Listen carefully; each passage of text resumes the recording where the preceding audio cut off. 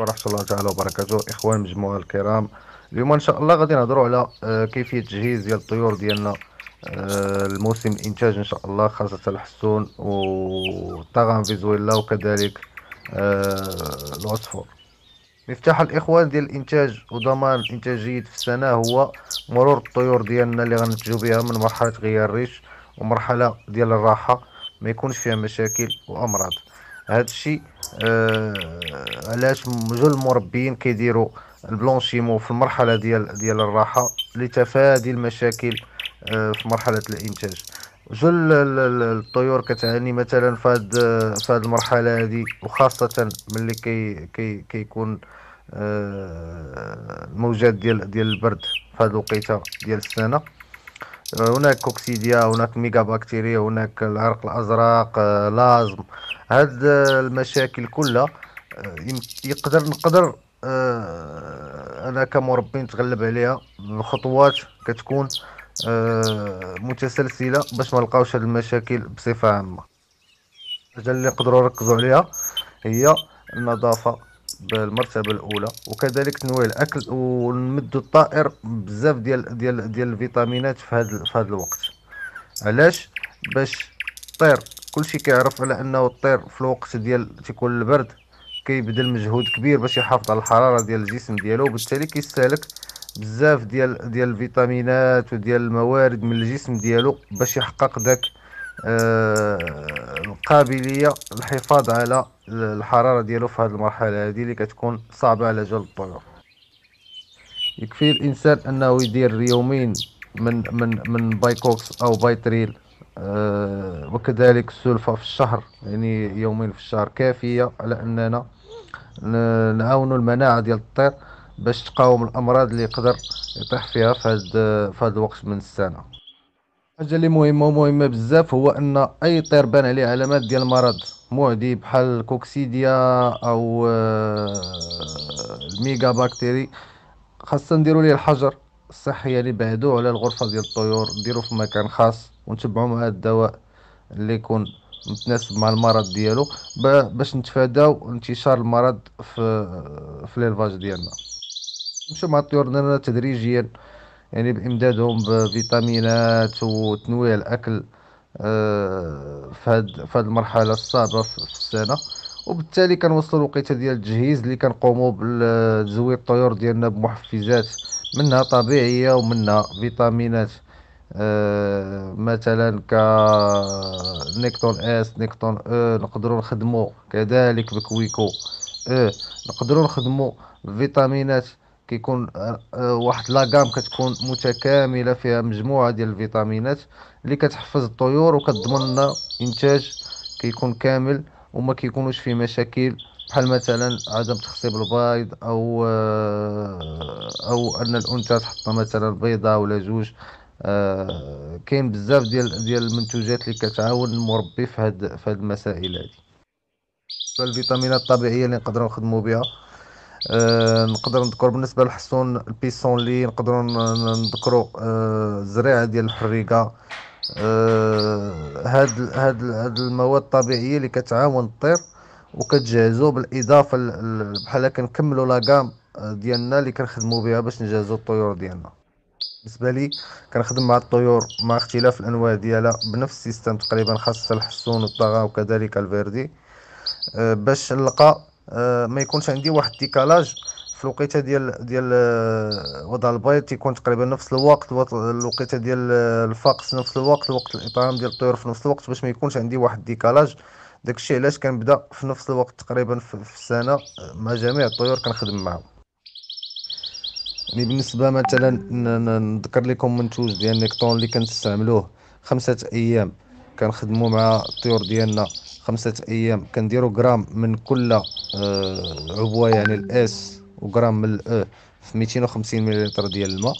كنقدموها للطيور ديالنا. يعني آه كنقدموها لهم يوميا بشكل يومي وكنبدلوا الماء يوميا.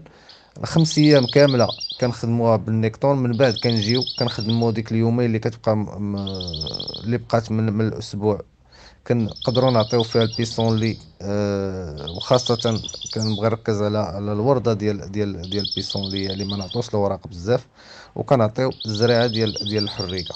هاد جوج ديال ديال ديال النباتات مهمة كتكمل لنا الحلقة ديال ديال التجهيز.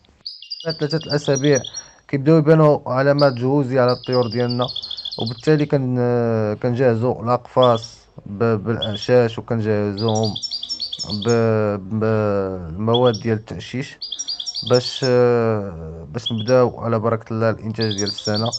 و جل جل الازواج ما كيكونش ما بيناتهم تقريبا ديكالاج كبير ديال ديال بناء العش ووضع البيض. أنا غنصر واحد الفيديو باش باش نبين على ان إلا بدينا الخدمة مع الطويرات ديالنا في نفس الوقت وعطيناهم كلشي اللي اللي غيحتاجوه من فيتامينات ومن من من المواد الطبيعيه غادي يكون الإنتاج في نفس الوقت تقريبا ما غيكونش ديكالاج كبير. وهذا هو هو يعني الخدمة normalement خصها تكون. خاص يكون تقريبا الإنتاج في نفس الوقت باش ما نلقاوش كما ذكرت ال décalage في التجهيز ديال ال pâtée ولا ولا مراقبة الصغار ولا. يعني تيكون آه إنتاج آه في جل الازواج اللي عندنا في ال élevage من بعد إن شاء الله غادي نهضروا على كل مرحلة بالخصوصيات ديالها يعني من بعد مرحلة الحضن ديال البيض إلى الفقس إلى الفطام ديال ديال الطيور ديال الفراخ ديالنا. آه غيكون عندنا إن شاء الله لقاء مرة أخرى وكنشكر جميع الأعضاء ديال المجموعة. شكرا. السلام عليكم ورحمة الله تعالى وبركاته. الإخوان آه بغيت نشير لواحد المسألة اللي هي آه التنويع ديال الأكل.